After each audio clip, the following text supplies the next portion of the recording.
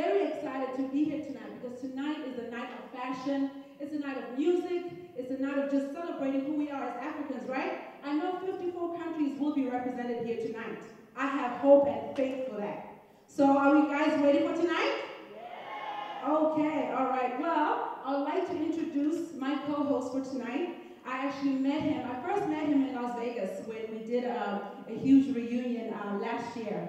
And you know he had on a black suit with a pink trimming. He, had, he actually had on a Dolce & Gabbana suit. And I'm like, that's such a rich and handsome model stalker.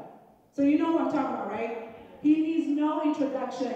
He has made us laugh for so long. We've seen him on BET, we see him on movies, and we see him across the stage, across the nation, uh, entertaining us and making us laugh. I would like to introduce tonight my co-host,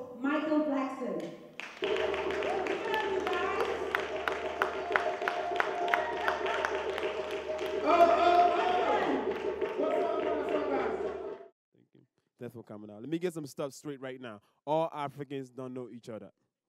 Akon is not my brother. I don't know him. Dikembe Mutombo is not my daddy. I don't know him. Desmond Tutu is not my pastor. I don't know him either. And that African guy that tried to blow up that plane, I really don't know that Madasoka. In fact, when he did that, I deleted him off my Facebook account, Madasoka. So. The only guy that's African that I'm related to is Barack Obama. Give up Barack Obama. Barack Obama. I love Barack. Since he became president, I ain't paying no bills. None of my bill. They called me the other day. Where's your mortgage? I'm waiting on my stimulus package. Where's your electric bill? My stimulus package. Gas bill, stimulus package. Child support, stimulus package. Click, click, click. I said, okay, I got the money. Child support don't play. What's up, man? How you doing? Welcome to the show. That's a big guy. What you eat, people? Let me get a human being with ketchup and mayonnaise, please. Um, it's all good. You give my, my co Isn't she beautiful? Give my co host. She's absolutely, and I'm so mad. You know, our African women come here and they start losing weight. That's not cute. Africa, fat is good. The bigger you are, it means the richer you are, and you eat every day. And when I came to America, I thought every fat person was rich. I was dating all big, greasy motherfuckers.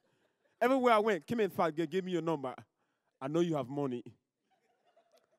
Tap the big girl with the cookies for me. I want her number, please. Yeah, the girl with the chicken and the, and, and the pizza. I love her with the Diet Pepsi. Give me her number, too.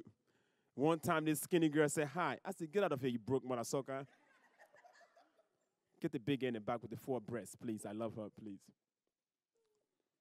I love big girls. I want no skinny girl. She's skinny, I'm skinny. Who mess around and start a fire? I love the big guests. You, you, that food is all over this place, man. You should be ashamed of yourself. What's up, my brother? How you doing, man? Welcome to the shop, man. Thanks for being late. Appreciate it, man.